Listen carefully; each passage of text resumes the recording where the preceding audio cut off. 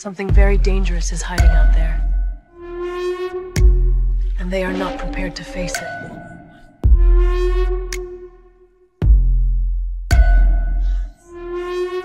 Today in the morning, I had a premonition, and I saw again those signs in the sky.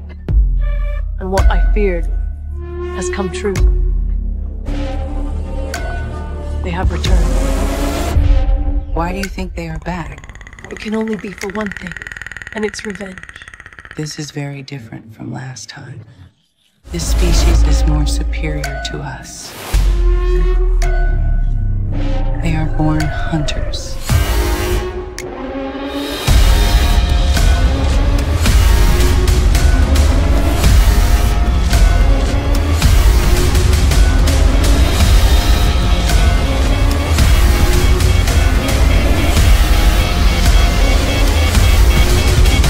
Ancient peoples gave those things a name. They called them predators.